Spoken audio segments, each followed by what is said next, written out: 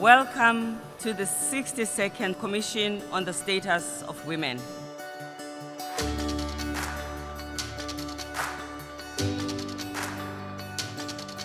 I've never seen the United Nations more charged with energy than it is during the CSW.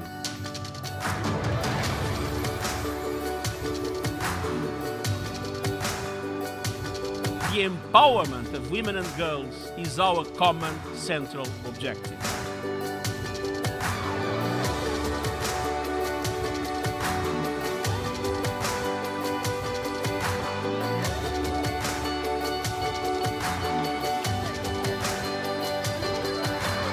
All over the world, we are witnessing an unprecedented hunger for change in women's lives. The voices of the rural women and girls are being heard. What are the platforms so we can be able to defend our rights? We are making ourselves visible and we're not stopping. The revolution really is here. I hear no objection. It is so decided.